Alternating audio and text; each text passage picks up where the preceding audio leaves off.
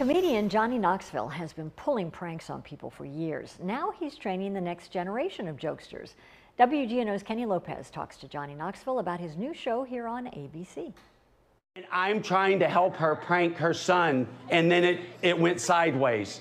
Any way you prank it, you can bet on funny man Johnny Knoxville to get you laughing.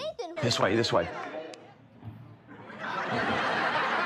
I just like pranking people that have uh, a, a, phobia or, or some something like that.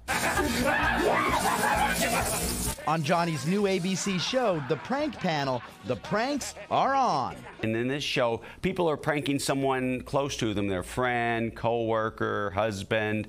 So, and most always the person has it coming because they've been pranking them their whole life. Officer, officer. Hi, my name's Johnny Knoxville, and she wanted What's to prank funny? her son. And if you were to put on a New Orleans style prank, because we're in New Orleans, what kind of prank would it be right here in the Big Easy?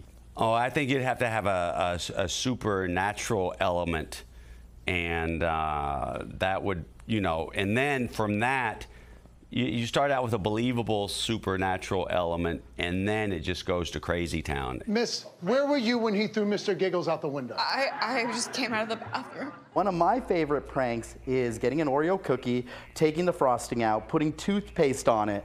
So I want you to rank my prank. Rank my prank. Scale from 1 to 10. What do you think of that prank?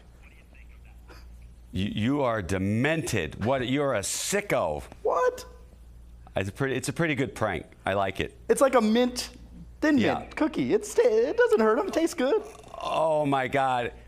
I would be so upset at you. So you would get a good reaction. I think that's, you know, that we're in the uh, seven to eight range with that one. Okay, okay, then I'll keep playing it's that simple. prank. It's very simple. It's very simple, which is most of the time the best pranks. Is this your umbrella, Peter? What's happening? Sorry. No, but here's my phone.